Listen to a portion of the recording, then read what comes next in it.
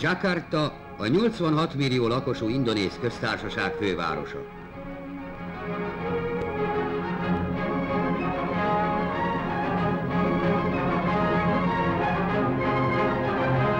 Ide érkezett dr. Szukárno elnök meghívására a Magyar Forradalmi Munkásparaszt elnöke és kísérete, akiket dr. Leimena az első miniszter első helyettese fogadott.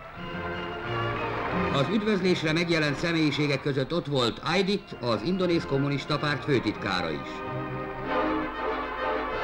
A díszőrség tisztelgése után a küldöttség a repülőtérről az elnöki palotába hajtatott, ahol dr. Sukarno elnök adott fogadást tiszteletükre. A szívélyes és baráti beszélgetés közben az elnök legyezővel lepte meg dr. Münich Ferenc feleségét.